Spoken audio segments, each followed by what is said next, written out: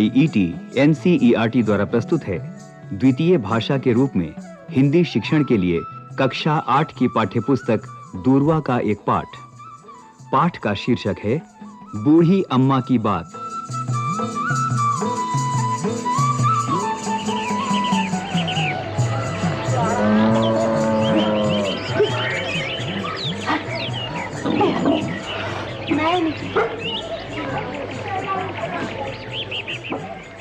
था किसान। गोमा मोरी नाम था उसका। गुजर बसर लायक खेती थी। एक गाय, एक जोड़ी बैल, बीस बकरियाँ थीं। छोटा सा घर। घर के सामने पशु बांधने का बाड़ा।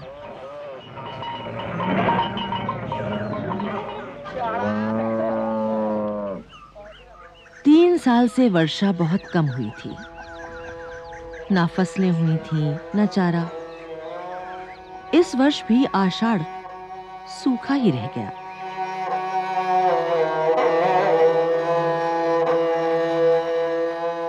वर्षा की कोई आशा नहीं बंधी थी। अब मैं खेत जोत कर क्या करूँगा? गोमा ने एक लंबी सांस छोड़ी। वो बैलों को हाँकते हुए वापस घर की ओर चल पड़ा।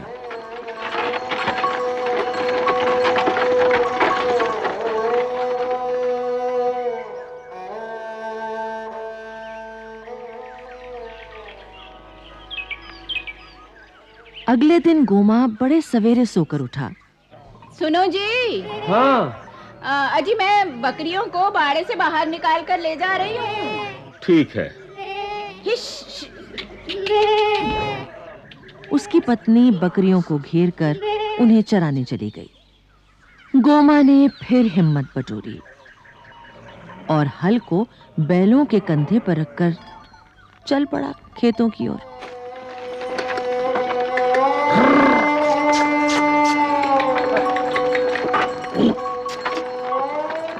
रास्ते में उसे कई किसानों ने टोककर कहा गोमा खेत जोतने से क्या होगा? अरे वर्षा के तो कुछ भी आसार नहीं दिख रहे। ठीक है कोई बात नहीं। अरे ये गोमा को क्या हो गया? हाँ? देखो भाइयों देखो। सूखा पड़ रहा है और ये खेत जोतने जा रहा है। बताओ। समझ में नहीं क्या हो गया इसको पगला गोमा ने सबकी बात सुनी और कुछ सोचकर खेत पर पहुँच गया।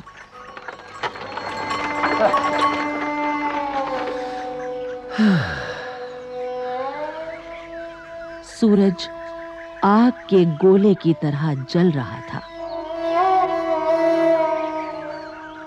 खेतों में गहरी और चौड़ी दरारें पड़ गई थीं। वो बैलों को देखकर उनकी दशा से भी चिंतित था उसने फिर एक लंबी सांस छोड़ी और खेत की मेड़ पर एक वृक्ष के नीचे बैठकर सोचने लगा।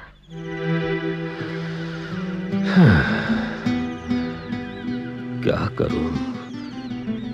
खेत जोतूं या ना जोतूं?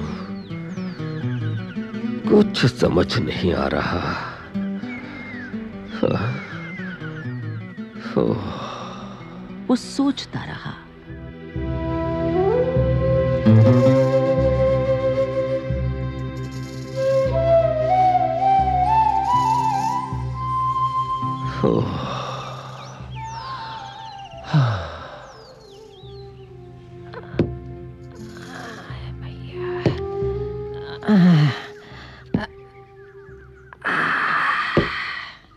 तभी वहाँ पर एक बूढ़ी अम्मा आ गई। अरे ओ बूढ़ी अम्मा। अरे। कहाँ से आ रही हो इतनी तेज धूप में? तुम्हें किधर जाना है? बेटा मैं तो अपनी नातिन से मिलने पास के गाँव जा रही हूँ। लेकिन तुम इस समय यहाँ क्या कर रहे हो? हाँ? ये समय तो खेत में हल जोतने का है। लेकिन तुम यहाँ आराम कर रहे हो। अम्मा तुम तो जानती हो तीन साल से वर्षा ठीक से नहीं हुई है। हाँ बेटा। इस वर्ष में यही हाल है। खेत जोत कर क्या करूँ? देखो बेटा वर्षा तुम्हारे हाथ में नहीं है। ये तो प्रकृति पर निर्भर है। जब बादल बनेंगे तो वर्षा अवश्य होगी। अम्मा खेत बहुत कठोर हो गए हैं। मेरे बैल दुबले हैं। इन्हें पेट भर चारा तक नहीं मिल रहा है। चारा पानी ही क्या? यहाँ तो पेड़ों की पत्तियाँ तक खत्म हो गई हैं। हाँ बेटा पेड़ तो यहाँ सब लोग काट रहे हैं। देखो अब पेड़ भी कहाँ बचे हैं? अम्मा जब पेड़ ही नहीं होंगे तो पत्तियाँ कहाँ से आएँगी? हम्म, अगर पेड़ अधिक होते तो वर्षा भी अवश्य हो जाती। लेकिन जो हुआ सो हुआ। जी अब तो तुम लोग पेड़ों पर ध्यान दो। हाँ माँ। तुम बेटा निराश मत हो। खेतों में हल चलाओ। उन्हें हाक जोत कर बोने के लिए तैयार करो। ठीक है अम्मा बेटा इस मौसम में कभी ना कभी तो वर्षा अवश्य होगी। अवश्य होगी बेटा। हाँ, वर्षा अवश्य होगी।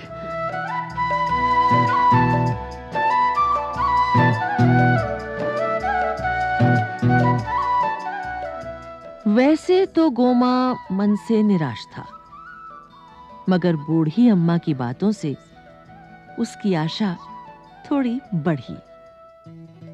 अगले दिन उसने पूरे उत्साह से अपना खेत जोतना शुरू कर दिया। चल बच्चे चल चल चल, खेत जोतेंगे वर्षा भी तो होगी ही होगी। अरे खेत जोतेंगे। चल चल चल बच्चे।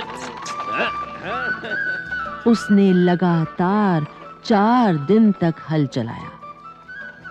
खेत खूब अच्छी तरह तैयार हो गए। गोमा अपना काम पूरा करके बहुत प्रसन्न था। अब वो बैलों को हाँकते हुए घर की ओर चल पड़ा। पूरी राह वो गुनगुनाता रहा। चल चल बच्चे चल चल। चल अरे खेत जोतेंगे हम वर्षा भी कभी तो होगी।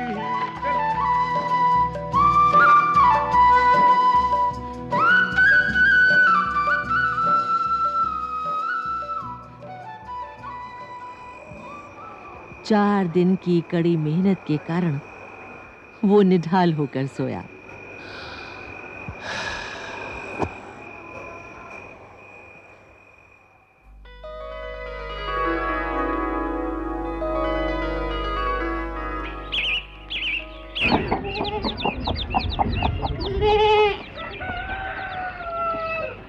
सवेरे जब वो सोकर उठा तो गाय रंभा रही थी। बकरियाँ मिमिया रही थीं। वो पुलक कर उठा। पत्नी ने आँगन से आवाज़ लगाई। अजी सुनते हो? क्या है? अजी बाहर तो आओ। अरे देखो तो वर्षा होने वाली है। वर्षा। देखो बादल गरज रहे हैं। वर्षा तो आनी शुरू भी हो गई।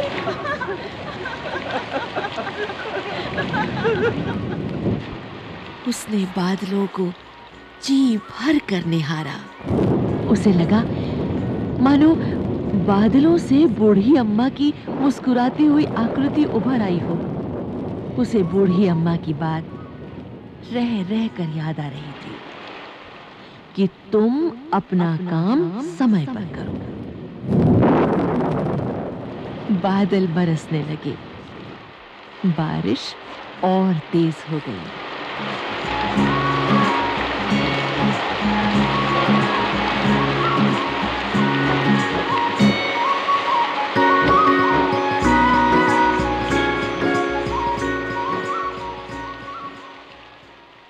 बूढ़ी अम्मा की बात।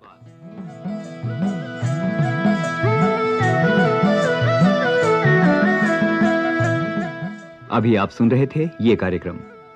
कलाकार सुचित्रा गुप्ता, शारदा गुप्ता, हर्ष बाला और सुनील लोहिया। ध्वनियांकन अमिता भट्टी। ध्वनि संपादन, निर्माण एवं निर्देशन वंदना अरिमर्दन तथा प्रस्तुति C I E T N C E R T